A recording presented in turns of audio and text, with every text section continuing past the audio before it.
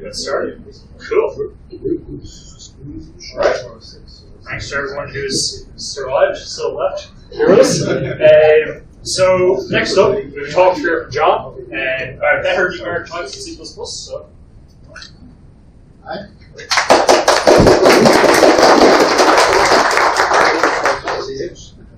Um, um, oh, uh, I didn't get a lot of sleep last night. I'm still jet lagged. Been up since about 2 a.m. So if you think you spot an error, um, probably have. Uh, so I'm, going to sort of zip through these. Um, just tell me if you've got any comments or questions. Otherwise, I'll just go through as fast as I can. Go. All right. So, um, um, background is I'm writing a, a library called CNL. It uh, some uh, numeric types. Uh, I'm trying to get some of them standardized, uh, added to this, this standard library. Um, please do feel free to check out this repository. It, um, it's mostly production ready. Um, so, what am I trying to solve with this library? Um, uh, C++ has some pretty good uh, numeric types built in, and people kind of gripe about them, but so we, we've seen of where some of these ideas come from. They've just time pretty well, but they've got problems. So integers in particular, they have resolutions fixed. Obviously, you can only work in units of one. It's not really a reason that, that has to be said. Um, uh, the range is fixed. I mean, something like Python 3, um, you, you don't overflow. If your number gets too big, the, the type just gets bigger. Um, and then the, the arithmetic behavior ints is it's not consistent. Um, it has all sorts of edge cases, uh, non-portable aspects. Um, floating point um, has problems of its own. It's complicated. There's uh, there's all sorts of um, interesting state that uh, takes a lot of effort to implement. Um, it, there's some things about it that aren't very conducive to um, mathematical abstractions. Um, it could really do with some uh, constexpr love. Um, that is uh, in the works. There's, there's some progress uh, here, but it's it's quite frustrating, for instance, that you can't um, generate a cosine in a compile time. You really want to be able to easily. Um, the, the, fact that the resolution is variable depending on the scale of the value um, can be a problem that you don't see with integers. And in particular, and more relevant uh, day by day, is the fact that uh, floating point can, uh, one estimate I've heard is that floating point is about 100 times as expensive in terms of energy in silicon than integers. Um, and often it's not, you're not getting the, the full benefit of it. Okay, so um, I would say that floating point um, it is it's a pretty well designed type given how old it is. It stood the test of time pretty well, and problems related to it aren't so bad. So you can get overflow, but it's an awful lot harder to to get overflow. For example, um, integers on the other hand are nice and lean and efficient. Um, but they could they could be improved a lot. That's what I'm trying to do. So, okay. So with CNL, I'm trying to draw inspiration from the, the standard template library, um, which does which kind of takes the idea of uh, arrays, raw arrays, and um, just takes them uh, really far. Does, does incredible things with the with, with the starting point of array. So it is an example um, using std array, which is very similar. Um, especially in terms of the, the, code that it generates, to just a, a raw uh, C-style array. And then iterators are even even more interesting. They um, do an awful lot of stuff that a, a pointer will do. So, um, for instance, uh, you could write generic code where the, the it doesn't matter whether you're using std array or or raw array. Um, you'll be able to use a lot of the, the same syntactic sugar for both. Um, and then you can opt in to additional features that do have runtime um, performance um, costs if you want, but that's a choice that you, you make. You're not forced to pay for anything that you don't use. most importantly, um, the STL um, provides a huge amount of composability. Uh, there's, there's two uh, aspects of the STL here, um, four uh, standard library features, and this type just threw together. I haven't written a line of code. This takes exactly zero bytes when it compiles. Already you can you can look at this and you can infer an awful lot of information about the intent of the author of this line. It's uh, if somebody wants to just cache the contents of files so that they don't have to load them multiple times, they can store them in memory. Very simple. So one thing I don't want to do is um, uh, don't do for it what STL doesn't do arrays. what I mean by that? As I said, I don't want to use the for anything they didn't use. Um, so, one example, uh, fixed point arithmetic. I mentioned uh, the, the uh, integers only have units of one. Um, it's a good choice, and it's a good default. I'll, I'll give it that. But, uh, um, it doesn't have to be the only one. So, part of the definition of the, the fixed point type in the CNL library, um, it's a, a template uh, over uh, rep. That's uh, an integer type. So if you're familiar with the chrono duration, for example, that also has a, a rep template, template parameter, and another hook that stores that integer, nothing else. It's just a wrapper over an integer. And then point has an exponent, which uh, basically says you can think of it as telling you how many um, bits left or right uh, to shift this value in order to scale it um, to whatever scale you want. Um, this will become clear when you see an example. Uh, maybe a bit clearer.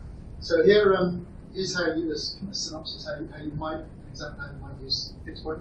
Um, here we, we are storing an int, but we want to give it eight fractional digits. So it's, it's pretty easy to be able to store a quarter in this value.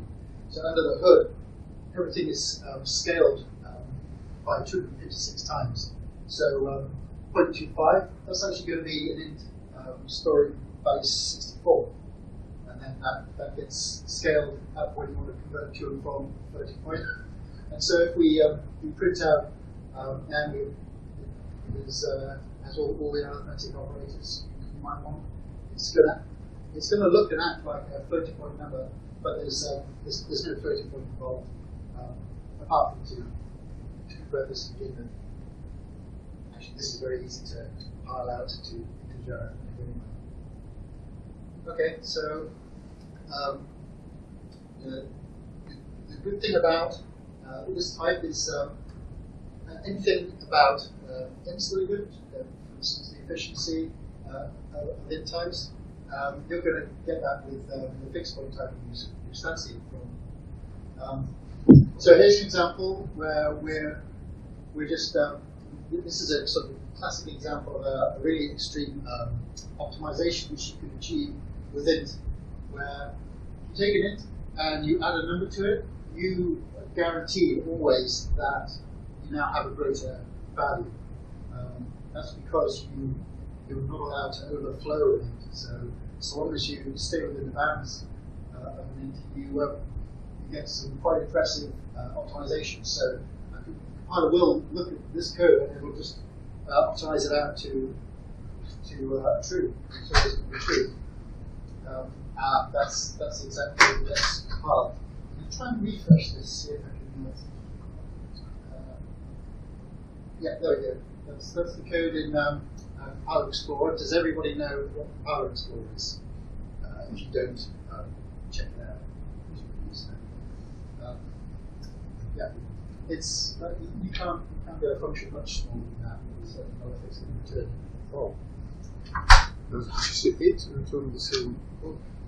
Sorry, what's that? Does GCC 8 return? Uh, well, I, I'm trying to show off here by going for as low a version as possible. Oh, so okay. this compiles with GCC 4.8.1.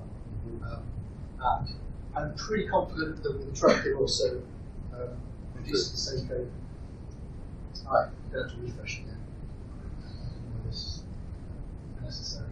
Um, uh, here's another example of um, kind of a proof that um, this type is purely a wrapper over an integer, doesn't incur additional cost. Uh, what I want to do with fixed point is save people tedious, error-prone effort. Uh, if today you could quite happily do fixed point arithmetic by hand um, using raw ints, and you have to do you have to type stuff like this. Um, the idea of fixed point is that it, it figures out some of the uh, some of the tedious work for you to, to reduce the chances that you'll make a mistake, and also hopefully make the, make the code a little bit more readable as you go.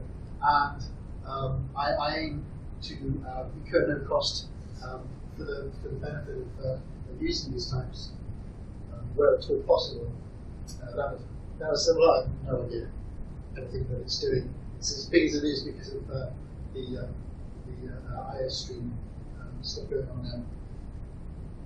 Um, but there are some things about integers which uh, can be a problem, um, and they come along for the ride. So, for instance, here's an example of uh, undefined behavior where you are exceeding the range of an and you just cannot ever do this. Uh, you know, I, can, I can do a whole talk about undefined behavior.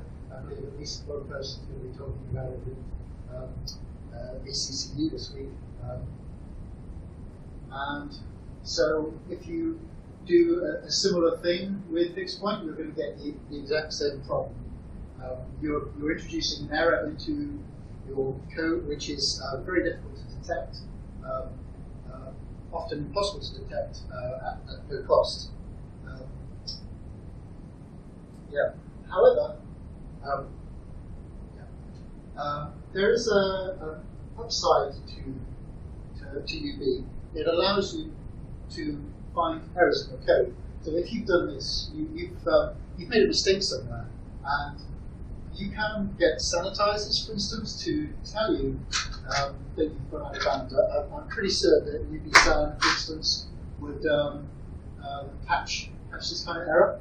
Um, better still, if you um, are making constant expressions, uh, and, and fixed point is a constant expression decorated throughout, um, you can actually use the compiler to catch a lot of um, errors for you. So uh, static assert is a C++ 11 feature. Um, I, I, can't recommend it highly enough, particularly in combination with the constexpr keyword.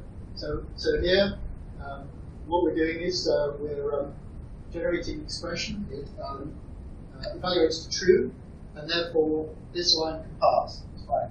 In the second example, this expression does not evaluate to true, and static assert emits an error as if, uh, as if you were doing a unit test, uh, but, the, but at compile time. And then a third um, category of behavior you get out is uh, um, here for, this is an example of undefined behavior. You cannot shift uh, if you're in if you're into 32-bit, you can't shift them more than um, 31 bits. Uh, it's undefined behavior if you do so. It's an error. You shouldn't do it. And uh, the static assert doesn't even get as far as evaluating this. It says, sorry, you can't put this in a, you can't put this expression in the static assert because it contains undefined behavior. Uh, this, this is a good way to uh, make sure that your code is correct at compile time. And uh, sure enough, uh, again, what you can do with ints, you can do with fixed point as well. This isn't doing quite the same thing because when you're adding one here, it's actually um, you're adding it to, under the hood it's adding a much larger number, but uh, the effect is the same. That's okay. That doesn't. okay. Um, and this is a really uh, great example of a, uh, a reason why people kind of um, hate integers. um, and uh, so, you know, a, li- a little bit of um, history. I mean, I'm, I'm, guessing here, but perhaps uh, you, can, shed some light on this. Um, when integers were 16 bit, uh, it would have made a lot more sense to say that when you are performing operations on a signed and an unsigned integer, that you you've got to choose one. Both both ranges of these kind of overlap. That you can't convert signed to unsigned and, and always get um, good results, and vice versa. So you've got to pick one um, choice. Um, the, uh, at some point in the design of C, I, I would imagine, they went with unsigned. And if you think about um, the era when uh, ints were 16-bit, uh, imagine you had um, value you know, 40,000 there. Um, you'd get the exact same problem in reverse, but instead of with negative numbers, numbers greater than 32,760 1997 um, would cause people to scream at, the, uh, their screen just as just as much. Um, now with 32-bit integers, um, uh, it's clearly the wrong choice, but at the time it probably seemed a lot more sensible. Um, and again, um, fixed point doesn't isn't trying to fix it. Uh, I think there is talk in the, the, um, the committee of actually changing this behaviour. It would be hugely disruptive, but they have started to talk about this now. They're talking about spaceship operator and trying to modernise uh, comparison. Um, so maybe this maybe this will get fixed sometime. If this gets fixed, this will get fixed too. Um, so, uh, so, up until now, I've mostly been talking about C++ around features. Um, now, this is an example of C++ 17. Um, up until now, you've had, uh, you've had to specify the uh, template parameter fixed. There's now a class template argument deduction. It looks at the, um, the value which the value you're passing to the constructor, and it can figure out reasonably from that um, what the uh, the template type should be, it just um, goes ahead and uh, says you haven't bothered with right angle brackets there. So this this line is the same as this. Uh, another side note, people really ignore that they always have to write a message. They don't have to write a message. So um, uh I really like this uh, this feature in C++ 17. Okay, so ugly stuff. Um, I'm going to get on to um, division, which is uh, a major bugbear of mine reason I'll get into, but via multiplication. So, uh, fixed point, uh, as I say, it's just a wrapper over, over integers. So when you perform multiplication, but for instance, you, you multiply a value that has eight fractional digits, um, so what type are you going to get at? Is it going to be fixed point uh, of int minus 8? Um, if it was, that would involve an additional shift operation. Actually, what you get is um, an exponent of negative 16, it's, uh, added negative 8 and negative 8. And that's the reason for that is because that is, that is simply how um, the, the, uh, the arithmetic sort of falls out. Um, and refresh. So here you see um, uh, another proof that uh, um, we're getting just about fixing the screen there, we're, we're, uh, we're not uh, paying a cost for this abstraction. Um, and this is this is somewhere where if you're again if you're writing uh, if you're doing fixed point arithmetic by hand, you could get into problems if you forget that here you're scaling um, by 256, but after you've squared the value, you've got to scale it down by 256 squared. Um, that's just tedious, um, um mind-numbing math that it's easy to get wrong that you don't have to worry about with, with point type. Um, so uh, why am I telling you all this if this is about uh, division? Well, um, when, when we divide, uh, this is kind of bit scary, but instead of adding the exponents together, you subtract one from the other. So we have a numerator um, and a denominator with exp exponents uh, negative 8. Um, they cancel out to give you um, a fixed point value with no fractional digits. And in this case, uh, because the denominator is greater than the numerator, you're, you're going to get zero. That's kind of serious rounding error. Um, but that's that's how integer division works. Um, if you if you want to uh, undo the error, you've got to use the uh, modulo operator, and, and, you can do this, and you will uh, uh, get the correct results. Uh, under the hood, once again, I'm hopefully you, you trust me by now. This is this is just a division operation and a modular operation to, to integer. But it's um, often not what people want, particularly if they're expecting floating point type um, results. What you really want is more um, fractional digits, not, not fewer fractional digits. So, uh, pretty good formula is to say, well, we'll take, we'll, um, we'll, we'll look at how many uh, integer digits, whole numbers digits, we have in the numerator, and um, um, and we will kind of do a switcheroo. I will show you on the next slide actually. It's, it's, it's easier to show that way. Um, so here you see that the number of um, integer digits um, kind of get added up, the number of fractional digits get added up. So 1, one plus 1 your integer digit, you get two integer digits in the result of multiplication. Um, and you kind of get a, a similar thing with division. So here's multiplication where the, the digits going in, there's some digits going in contribute to the width of the output. Um, and you get a lossless operation so long as the result is um, the combined width of the input operands. Um, and you, you do kind of get a similar thing going on with division. Um, but yeah, there's a switcheroo now. Um, D and C are kind of swapped around here, so that the denominators integer digits contribute to the uh, fraction digits of the quotient, yada yada. But there are there are exceptions to this. I don't know if anybody can give any examples of where this kind of doesn't hold. Uh, yeah, can you think of any?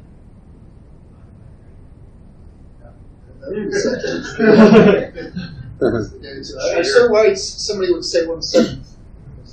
Yeah. Um, it's a lead, if you have a like a fairly modern Android phone with stock stock Android calculator, just type in one seventh and then try and s- scroll along to see how how much precision you get. Um, I met the I met the guy who uh, implemented this. So like one divided by seven. So it's this recurring number, not point one four two eight five seven, one four two eight five seven, and you can keep scrolling. Keep scrolling.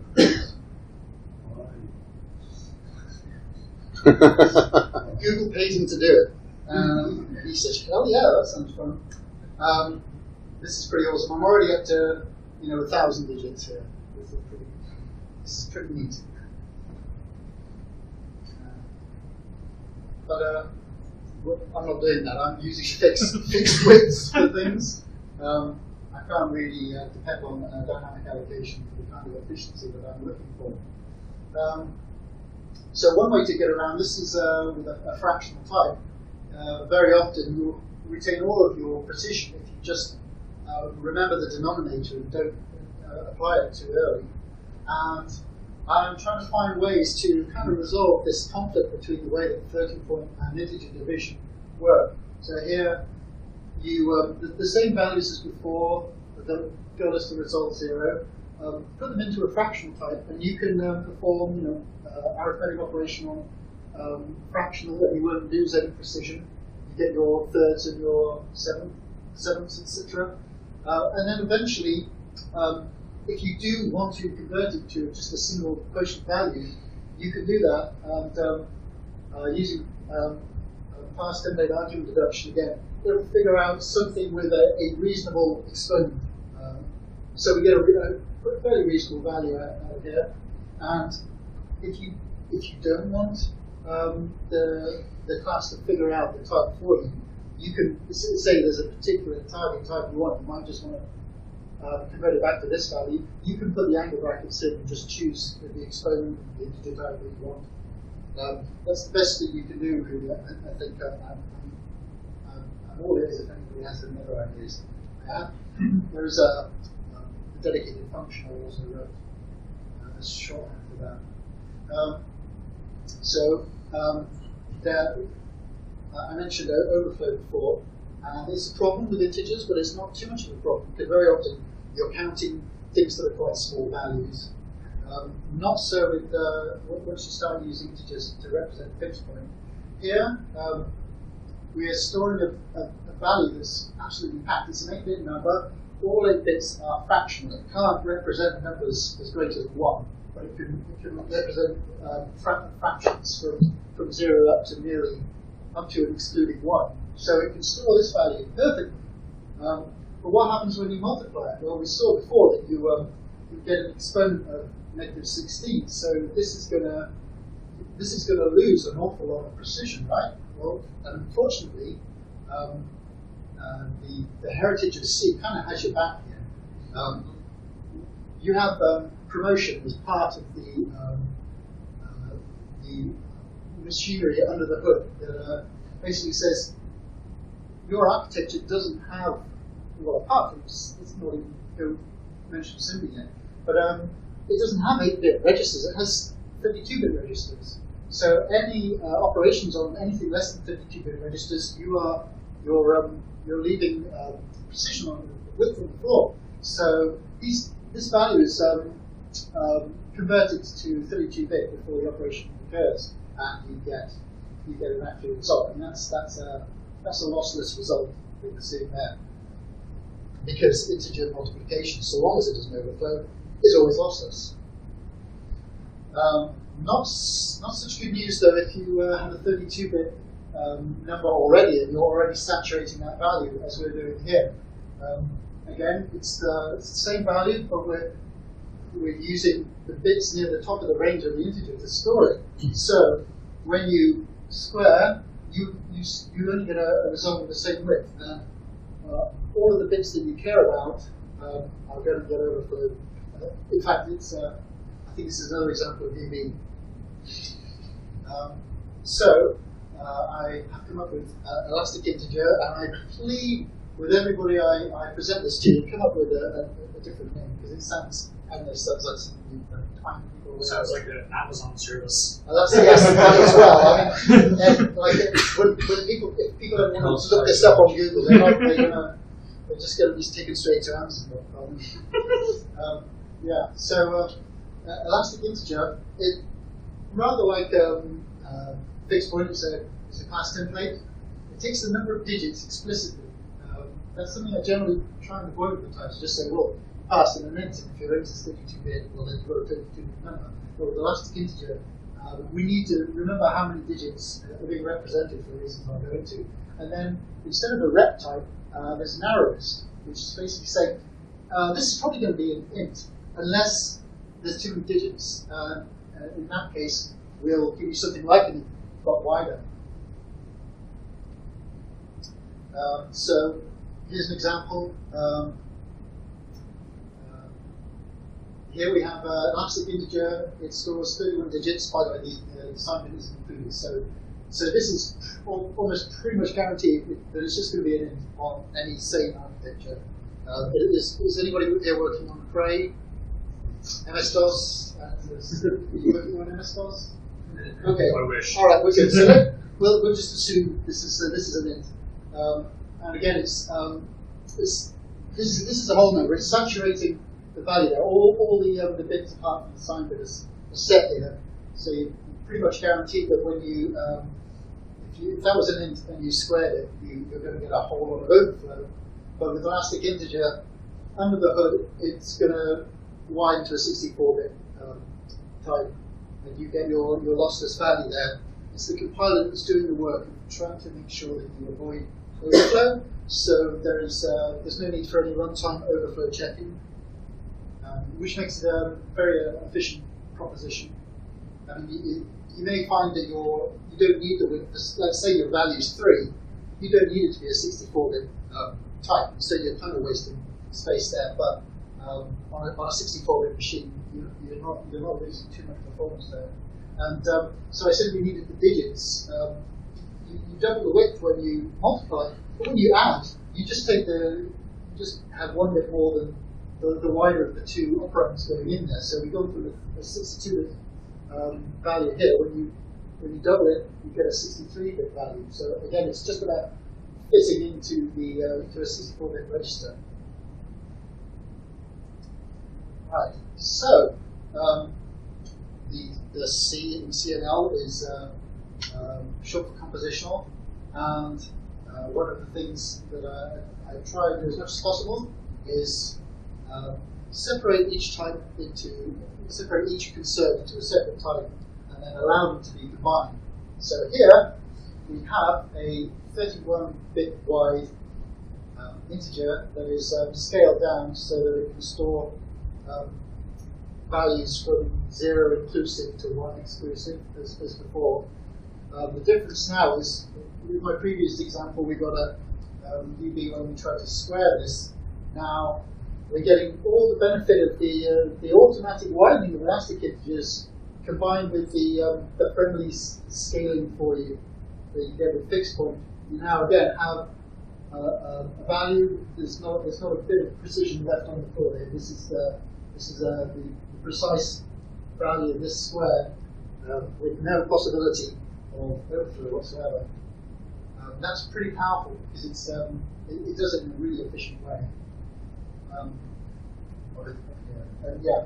So I mentioned, um, you fractional before. When you when you pass um, uh, uh, fixed point of elastic into fractional, um, you get you get sensible results out. One of the problems with fractional is you, I mentioned the uh, numerator, uh, sorry, the denominator. Um, its integer digits affects how many um, fractional digits you get in the equation.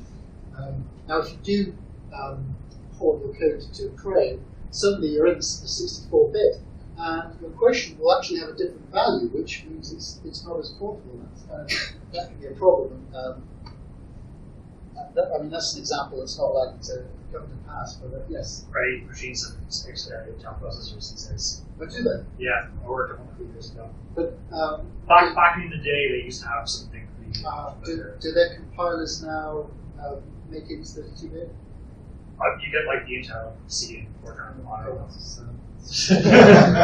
I'll have to come up with another. Well, I'll have to go back to MS DOS examples. uh, but yeah, I mean, sure, sure, sure, sure. Um, the, the, the process which is going to go to 128 in the very near future. Um, just to just to get the address space that would be required to address the data that are coming out.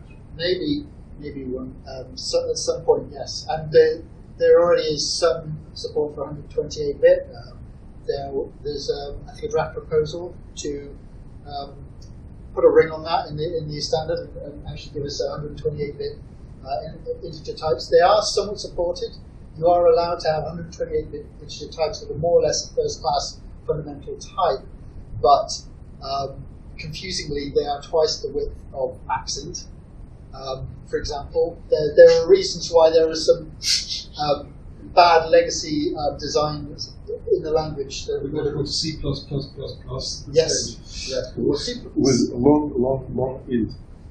Yes, it was. So, like somebody suggested. It's extremely extremely long. So, yeah, no, long, long, long int was proposed in the same paper. Long, long, long int as well. That would be the 256 bit. And you could have a short long, long, long int. Long, long, long, long, long, long int, int is 64 bit. Long, long, long int is already 64 bit. That isn't even a joke. So in a C compiler, you could do hash include read the actually max int dot uh, h. Never mind. You mean is that an angle bracket joke? Yeah. Yes. Well, I mean, um, yeah, this, this type here, by the way, this won't even work on a current Microsoft compiler because uh, Microsoft doesn't yet support 128-bit uh, fundamental types. This will only work on Clang and GCC, typically, uh, if you have a 64-bit uh, processor. They have a type underscore underscore and uh, 128 or 128 underscore T or something like that. Um, and so if you try and compile this on Microsoft, it won't compile and say, sorry, I, I don't have that enough width for that. Um, and that's there's a whole other type that I don't talk about here called wide integer, which gets around that problem. Uh, and that's that's really useful. If you're if you're doing enough multiplications, you very quickly run out of width if you don't want to lose any um, accuracy whatsoever. So, uh, runtime safety. Uh, actually, somebody was saying, "Oh, are we going to see safe integer today?" And they left already. Um, there's only one slide. Um, I, I, should, uh, yeah. Uh, people always ask about this. It's, um, where elastic integer is uh, avoiding uh, overflow at compile time. Um, that's not always um, possible if you're doing narrowing cast or compound assignment with plus equals, you don't decide that the, the, the result type is, is wider. Um, in situ situations like that, you absolutely have to try and trap uh, overflow at runtime. Um, so here, um, again, um, because uh, of promotion rules, we don't always see uh, an overflow problem. This is uh, this, this operation here will not incur a runtime cost because the safe integer looks at the result and says, well, that's definitely, uh, uh, we, we have room for that. Uh, actually, I'm not entirely sure because um, that's a, a 31-bit value. It might have to check. But if this was a this, this was a byte, um, yeah, much would it myself? If this was a byte, definitely this would be just as efficient as a, as a raw integer. Um, so here, I said narrow and cast. This um, this is a overflow, not um, technically overflow um, language point of view because uh, unsigned integers don't overflow. Um, but um, certainly, you, you, this value is going to. Sorry. That's right. Yes. Yeah. Uh, people keep talking about uh, oh, when, when an unsigned integer overflows, you get value of zero or whatever. But, but technically, that's overflow because what concerns me about a lot of what you're saying here is that so you're making your mathematics horrendously inefficient from an actual processor point of view. Um, well, I haven't shown uh, compiler explorer examples for all of it, but uh, I'm trying to make sure that as much as possible you just get the. Uh, but to, to throw an exception. Oh, right. Okay. So you I have to do a check. You mean I, I, yeah. At, at the processor level, you have to do a check there to throw. Well, if right, if you do the check like in, um, in the uh, typical case, the check will come back false.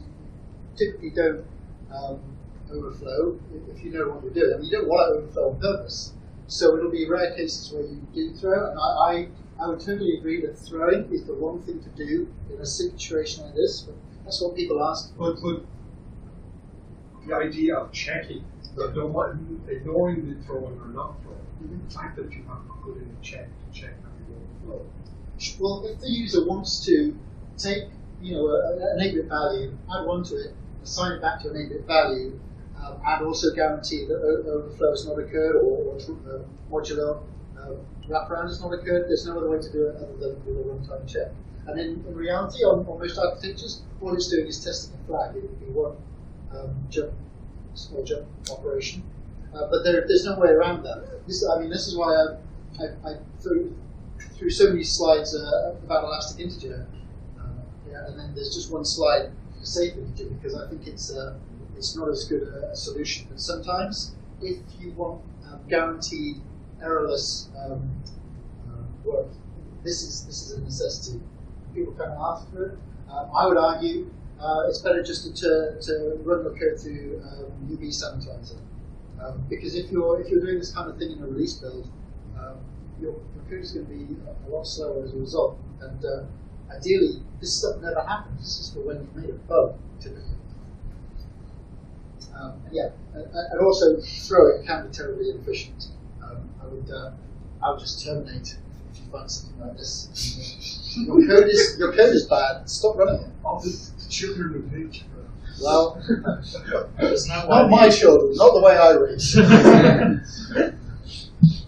um, so let's see. Oh, again, I so I mentioned static assert is a good way to catch these errors. Um, throw for um, better or worse, uh, if, if, the throw occurs in constant expression, um, it, it, it is no longer constant expression, and, um, therefore the assert will refuse to compile.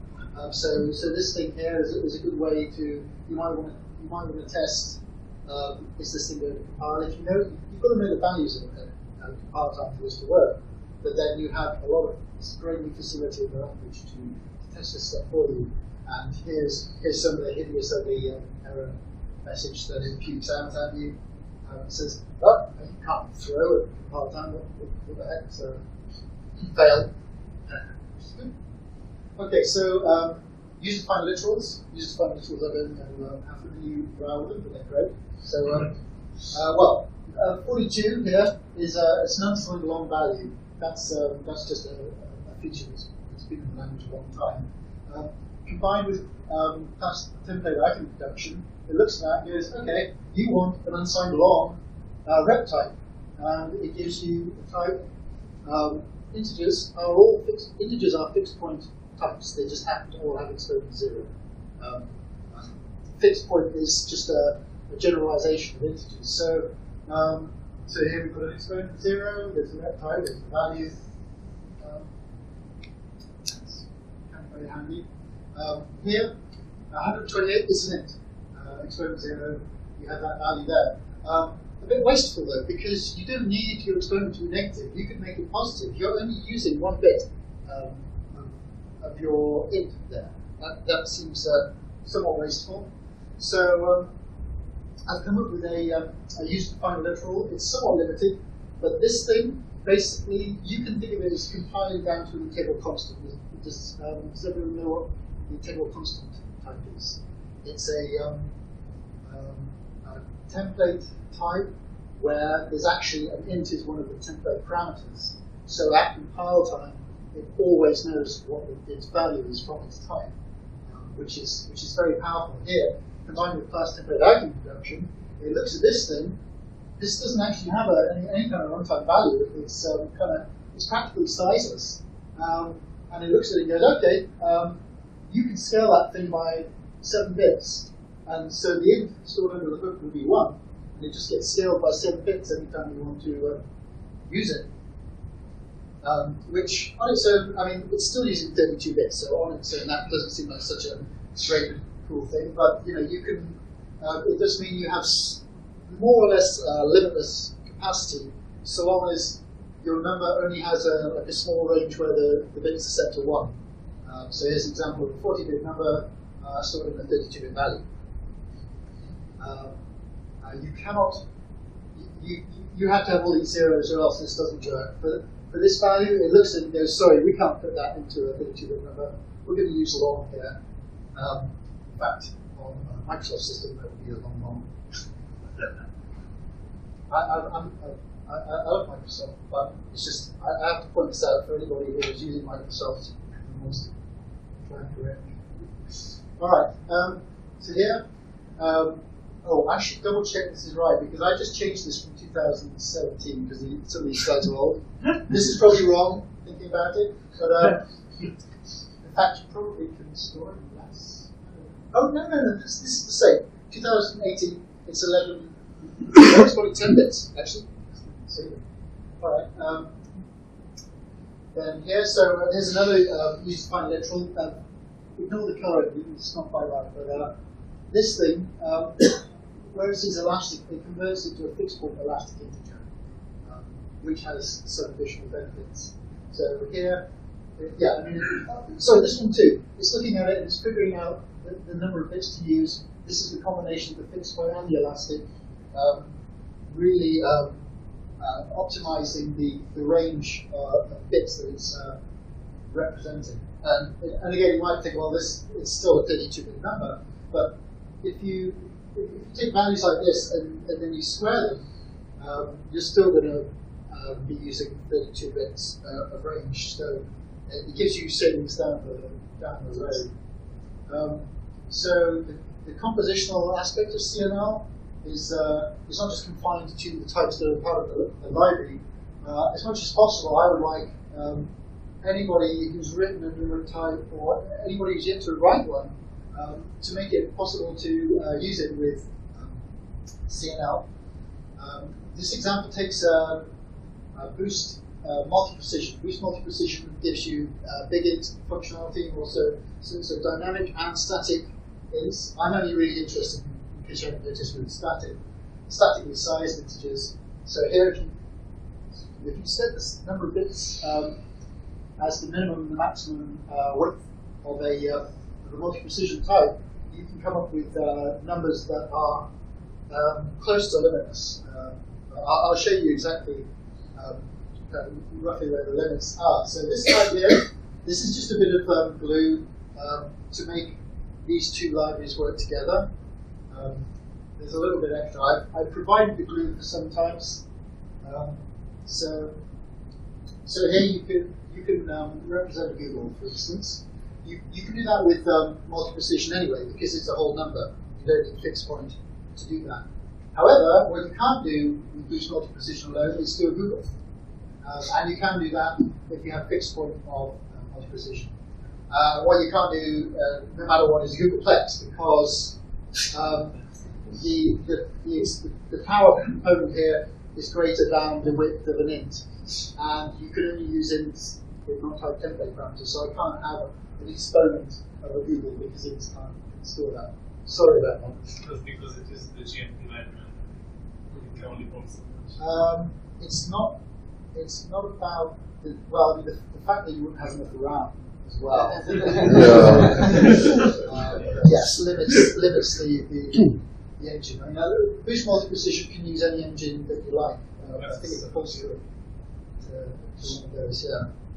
Um, okay.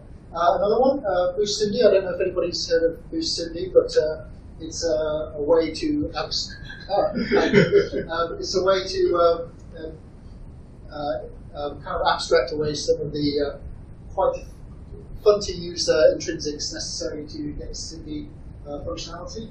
Um, uh, I should mention there's also uh, a similar library that's um, going to a technical specification. Um, in other words, it's well on its way to standardization, which I've also been working on um, getting to integrate it the same way. So you can get. Um, so here I'm, I'm so typically I used to using Think to to compose these things together. So here we have um, fixed point of Boost pack. Um, of uh, so this can maybe pack a bunch of uh, integers together, maybe four, for instance, uh, and then it's a, it's a fixed point type. So you have an exponent. So so here we have uh, four integers, and they're all scaled so they have 16 fraction digits, and um, then you can um, uh, uh, perform most of most of the operations with, with a certain amount of readability. Um, there are there are some problems um, combining these things together because uh, SIMD types are not really numbers; they're uh, active numbers. Um, but this stuff it just basically works because both these libraries are designed to um, be int friendly, and because they're int friendly, um, they, they work with each other. Uh, so a, a, demo that I've got working with SIMD, which is to, to generate a, a Mandelbrot.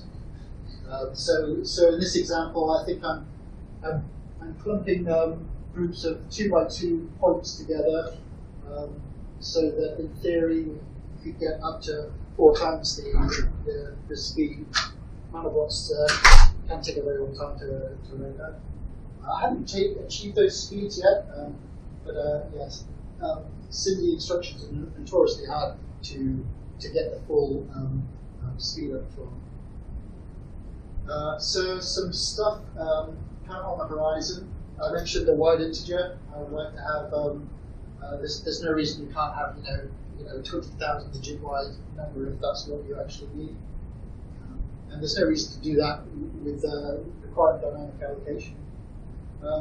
Um, so rounding and overflow, uh, I mentioned um, overflow a bit um, because unsigned integers don't overflow. Uh, people sometimes complain, well, I wish that they did. I, I don't want to get a much smaller number when I, uh, you know, get a 4 billion, 4.4 billion. I don't want that to suddenly become a much smaller number. I want that to be an error and trap it.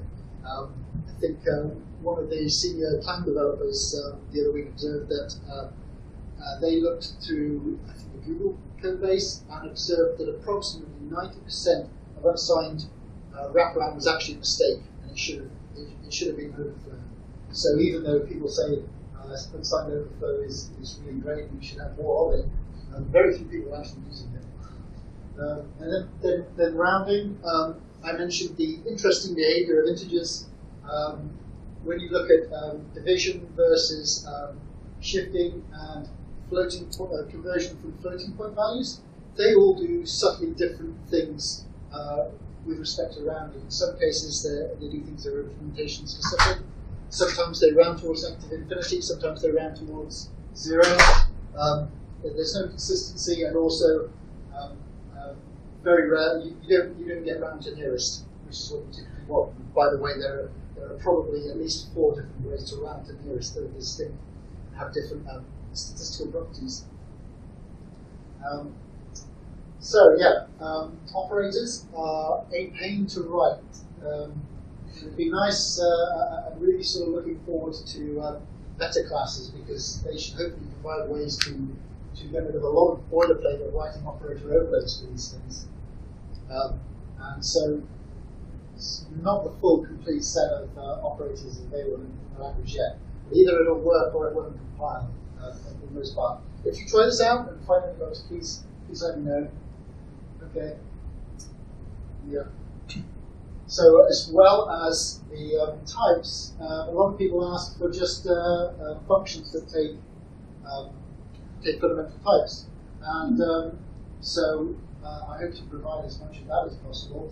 Um, it's kind of a lower priority. I think generally most people would rather just have a, a type that does what they want, and they kind of forget about all the stuff that's going on under, under the hood. Um, things get quite interesting when you then have to overload these functions for your different um, types. You want to put one of these as the parameter into here, um, here, then um, there's kind of a, an explosion in the number of uh, functions that need to get created. Uh, interesting problems there. Um, we, uh, I think this is a language feature that we need. I, I showed you of using fundamentals.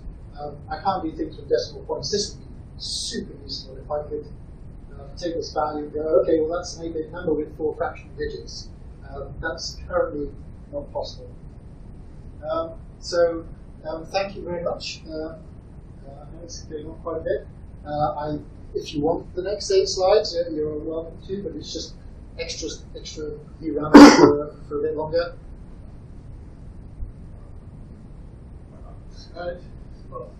Um, so let's see. Um, now, fixed point is just one example of a way that you want to scale integers. If you look at the um, um, chrono duration type, that's another way that uses uh, this ratio. Incredibly powerful, very useful for representing different um, time types. Um, uh, and it's doing uh, duration is doing a very similar thing to what fixed point is doing. So why can't I instead of having an exponent in the second parameter, why not have a more general thing where there is some static object that, that observes some static scaling concept? Um, it's a lot of work, but I, I, I hope to um, um, on to experimenting with this, and then you, you, get a lot more generality. So here, instead of a instead of fixed point, we have scale integer. Again, it takes the but instead of exponent, there's a, the scale type. It could be ratio, it could be some other thing like an exponent there that has the power. That's basically your, your exponent number there. And then maybe even have you know base 10 for people who want to, particularly people in finance, they, they're looking for base 10 and also interested in binary. And then fixed point just becomes another one of my aliases. It's just a scaled integer that happens to use uh, powers of 2 for the um, um, for the uh, scaling type there. And um, then that becomes incredibly powerful. Uh, here's some examples of some of the things you can do. To scale by 10, you can scale by 100 to get very efficient uh, um, representation of uh, a lot of currencies that way. Um, having um, you know, 360 degrees, that's, that's something that uh, you need ratio for.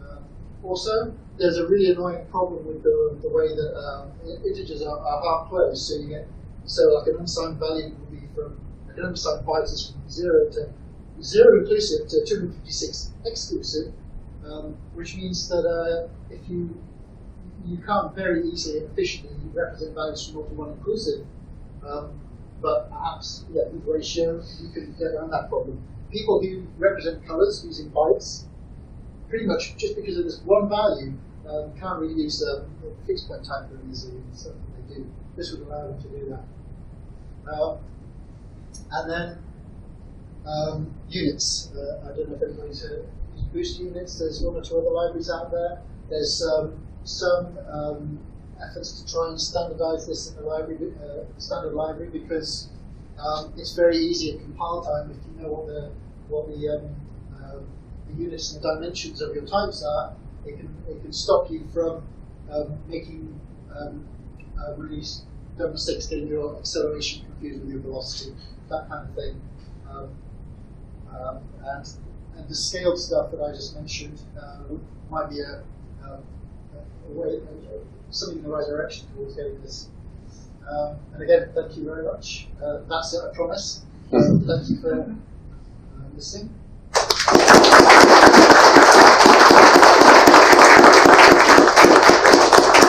Any questions? What are you using for purchase?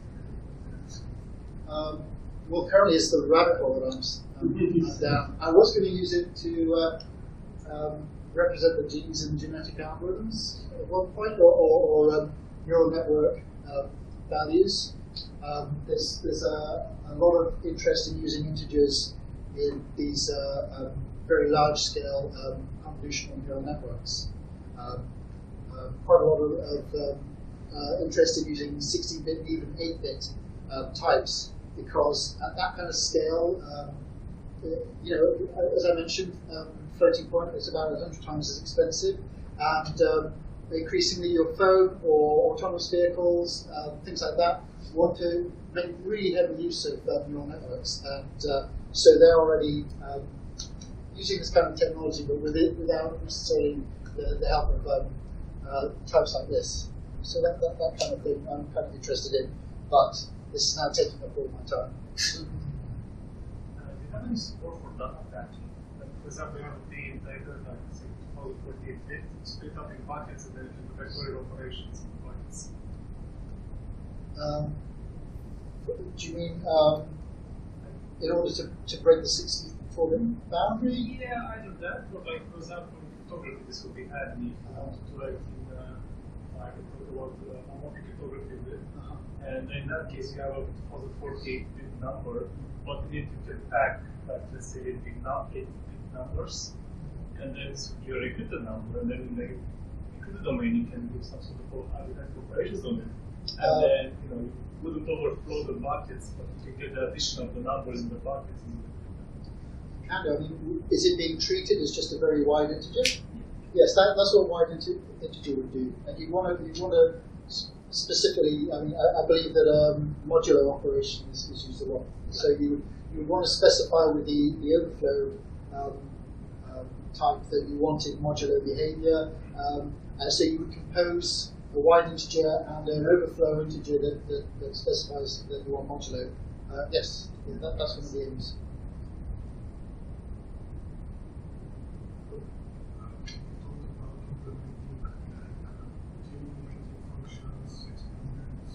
Uh, yes, that's um, such a large body of work that it's sort of generally thought, well, let's let's get the addition and multiplication and that stuff taken care of first. But absolutely, um, we want to do that. But it opens up some interesting um, questions. Uh, for instance, I mean, particularly for angles, do you really want to have um, two uh, um, two pi as a full circle? Because um, it would be quite nice if you had a, you know unassigned um, angles that use the full range of uh, types. So imagine if you had 256 degrees instead of 360 degrees, you get some really nice properties where um, angles and differences between angles are a huge pain in the neck to get right. Because if you add or subtract in the wrong direction, you get values greater than 360, and then you've got to um, cut them back down to you know subtract 360 from them. It's a huge pain in the neck, but with unsigned modulo uh, overflow, nearly all of those problems go away, except uh, they have 256 values instead of 360. Um, uh, so I'm thinking possibly um, a way to generate lookup tables. Also, embedded developers are quite interested in these types, and they very often don't have um, trigo- trigonometry as uh, uh, accelerated hardware, and they, they would be more interested in uh, lookup tables where they decide big the lookup table is going to be. They might only want 32 uh, values in this, in the sine waves, for instance. Um, so yeah, there's, there's some open questions there, but uh, um, yeah, definitely at some point want to uh, support all of the things that floats can do respect. Okay. Thanks.